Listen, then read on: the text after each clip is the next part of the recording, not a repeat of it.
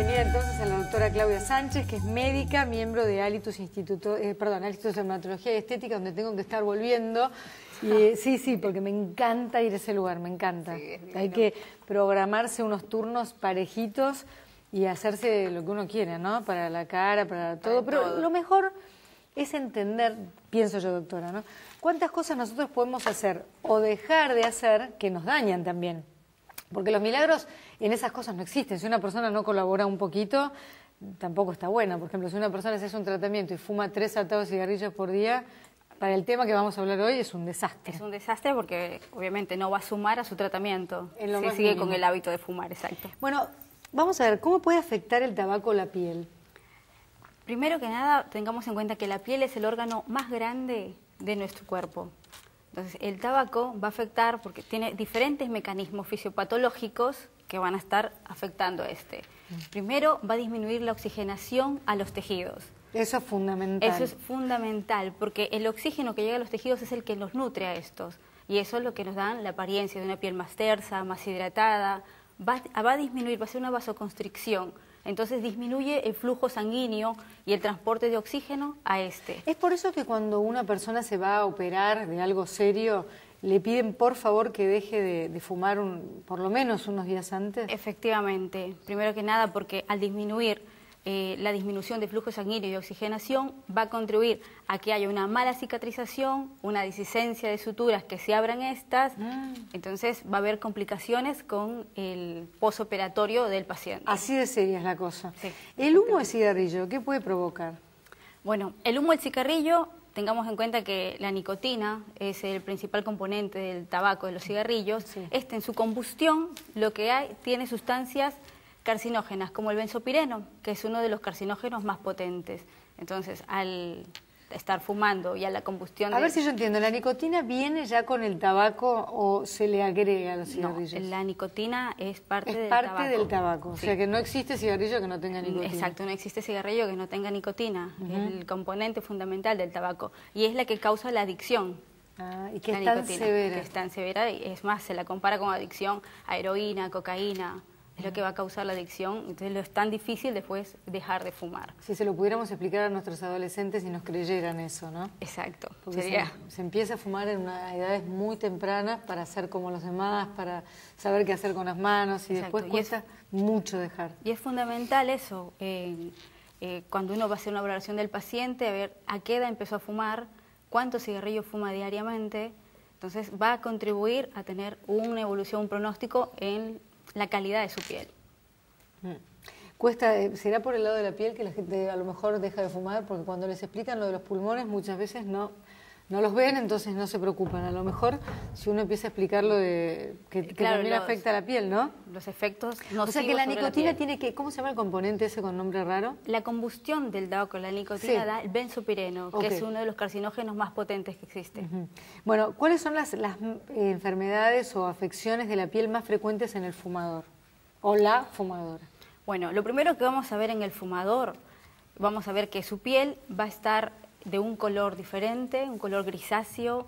Las arrugas van a estar muy marcadas, sobre todo las arrugas al, eh, al nivel de las mejillas, las periorbiculares también. Ah, tenés las del alrededor de, los labios seguro por este movimiento. Por el movimiento. ¿Y las de las mejillas también? También, porque se marcan.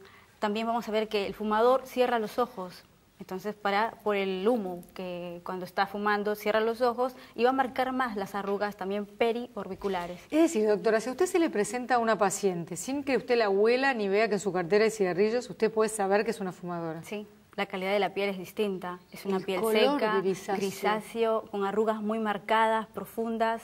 Entonces, mm.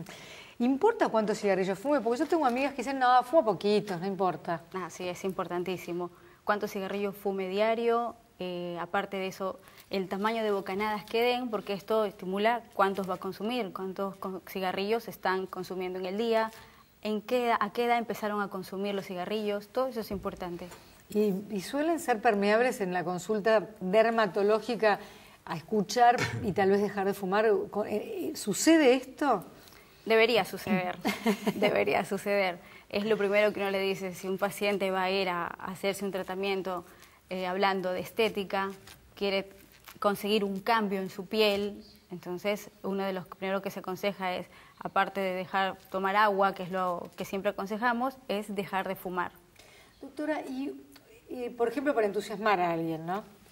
Si una mujer que fuma logra dejar de fumar, ¿va a haber los cambios rápidos? Afortunadamente sí. La piel es el órgano que responde primero y de manera positiva a los, al dejar de fumar. ¿En serio? Va a verse una piel, sí, va a verse una piel más hidratada, una piel eh, humectada, una piel más sana. Es el primer órgano que responde de manera positiva. ¿Y eso puede dar entusiasmo para seguir? Por supuesto. Uno al verse eh, distinto, ya verse al espejo de una manera diferente, va a dar ganas de dejar de seguir sin fumar. Cada vez hay más lugares libres de humo para la alegría de los que no fumamos, pero todavía sucede que gente que no fuma, que se llama los fumadores pasivos, tienen cerca a gente que sí fuma. ¿Puede llegar a dañar al fumador pasivo? Sí. Ay, qué feo es El fumador pasivo eh, eh, va, va a afectarse muchísimo porque también va a inhalar este tabaco. Entonces, estos inclusive, estos agentes carcinogénicos como el besopireno, lo vamos a estar inhalando. Entonces, somos inclusive eh, las personas que no fumamos, estamos mucho más propensos a padecer las enfermedades más que las personas que fuman. ¿Por qué? Porque, el que fuma no se va, no se va a estar inhalando eso que él mismo tiró para afuera. Aparte de eso, como que el paciente fumador ya está habituado, el no fumador al no tener un hábito fumador, entonces es más afectado. O sea que no tenemos que permitir que nos fumen cerca y mucho menos si hay un niño, si, ni hablar si hay un bebé. Los niños, imagínense, no, las mujeres embarazadas tampoco. el doctor Pascolini nos puede decir que las mujeres embarazadas con expuestas al tabaco van a tener eh, disminución del peso eh, de los niños al nacer, se afectan bastante. Sí, yo conozco gente que no ha dejado en el embarazo, me da rabia, pero es así. Es una adicción así de fuerte, ¿no?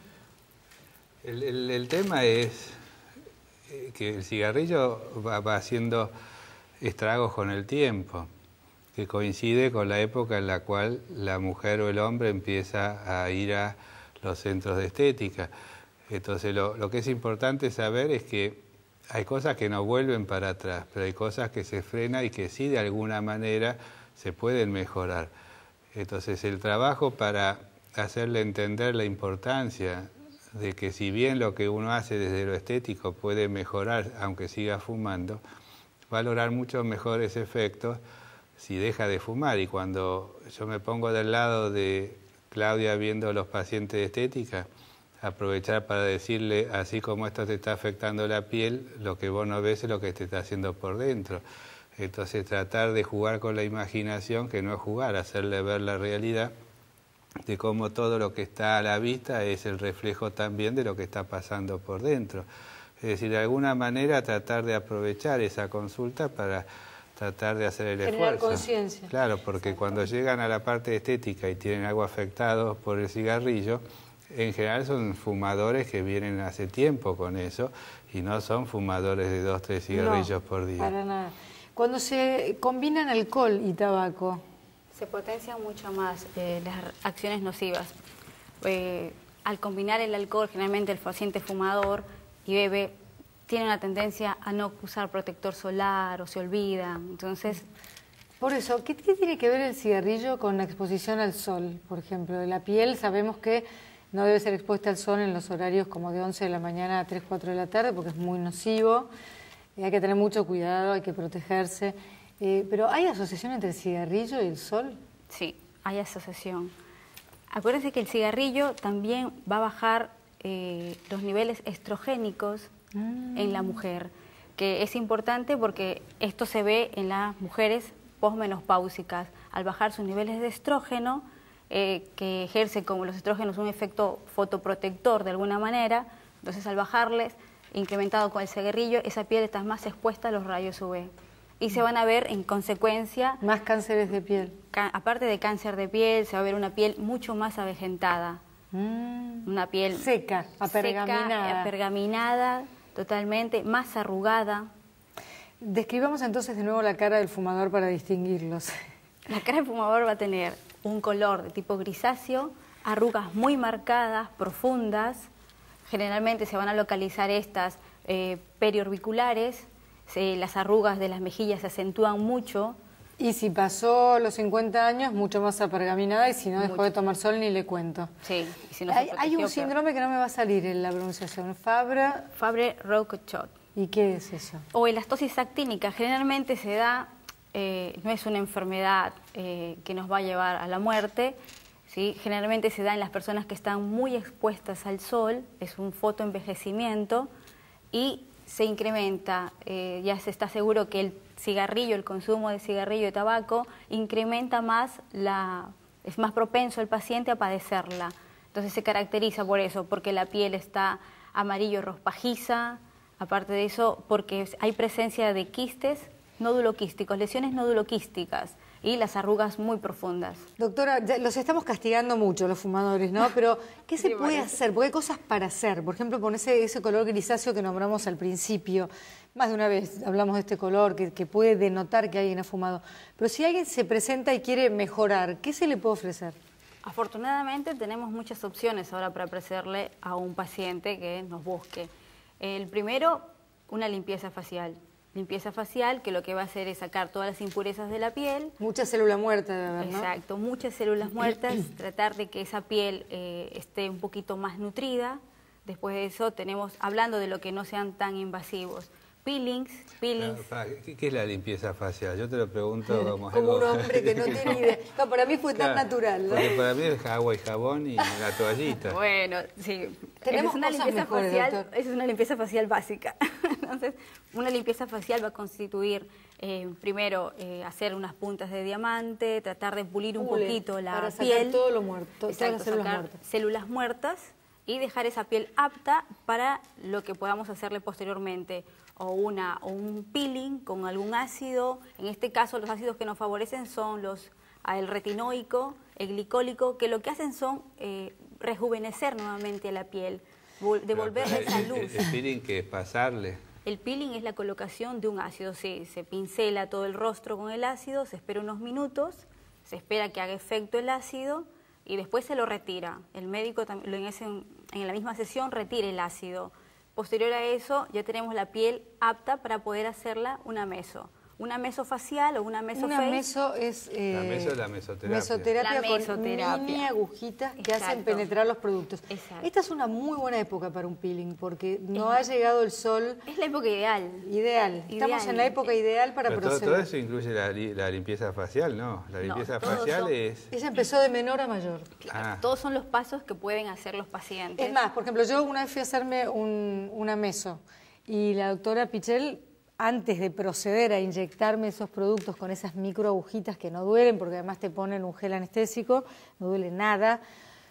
Antes de eso ya pasó punta de diamante, que no molesta para nada, es como, como si fuera un mini tornito.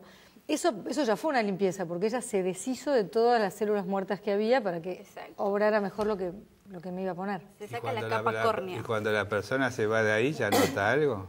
Sí. Menos mal que no me dijo, sí, que se nota. Se nota. Mucha luminosidad. Más hidratación, muy luminosa la piel, se nota. Menos mal que no me dijo que me sacaban la capa córnea, porque si me lo explicaba por ahí no me dejaba. ¿Qué es la capa córnea? Es lo que Son está las células lo muertas. muy superficial. exacto, lo más superficial. Son la, acuérdense que la piel cada 21 días se está recambiando. Ah. Y no sacamos esas capas, esas células muertas con el agua y el jabón nada más. Ah, pues Entonces hay que una hacer limpieza un facial o la mesoterapia o el. ¿Cada cuánto lo hace? La mesoterapia se debería de hacer cada semana. ¿Pero por cuánto no tiempo? No toda la vida, por No, por lo menos unas 10 sesiones y después se van distanciando. Ese es un protocolo de tratamiento. 10 sesiones. Dos meses y medio más o menos. Después se distancian, en vez de ser los semanales, se hacen cada 15 días por unos 3 meses. Y posterior se van haciendo mensual para mantenimiento. Yo estoy mal de mantenimiento. O sea, ustedes lo que hacen, reciben a la persona que se acerca, charlan y le hacen todo un Y le hacemos un protocolo de tratamiento, exacto. Se le hace un protocolo de tratamiento, todo lo que va a pasar, todo lo que se le explica, lo que va a sentir inclusive el paciente, cómo va a ponerse su piel, los efectos que va a haber en su piel y el paciente, una vez que termina todo el tratamiento, las 10 sesiones, el, los posteriores, los 3 meses de cada 15 días y el mantenimiento, el paciente a la mitad de las sesiones ve totalmente los cambios en su piel.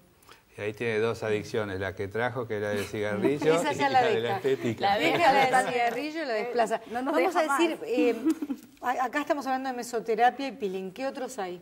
tenemos también radiofrecuencia. Radiofrecuencia que se hace cada 21 días. Claro, la radiofrecuencia, la, radiofrecuencia se hace cada 21 días porque hay que darle oportunidad. La radiofrecuencia lo que nos hace es aumentar la temperatura a nivel interno la piel para que estimule la producción de colágeno. Resucita tu colágeno. Entonces, es como poner un bife a la parrilla. No, doctor. No, no, para nada, porque el paciente es tan placentero el tratamiento que el paciente lo que siente es un calorcito agradable en la piel y lo que hace es eso, estar produciendo colágeno.